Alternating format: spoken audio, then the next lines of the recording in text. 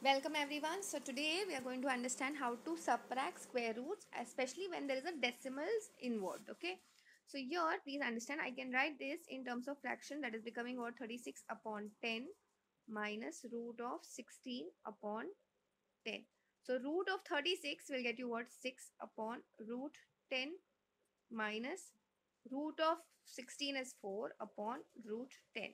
Now since the denominators are same I can directly subtract. So my answer now comes out to be what? 2 upon root 10 but always remember in mathematics you don't leave your roots in your denominator.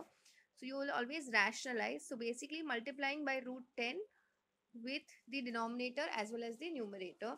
So you get what? 2 into root 10 upon root 10 into root 10 will just get you a 10 so now cancelling so now this answer comes out to be what root 10 upon 5 do like, share and subscribe for many such videos.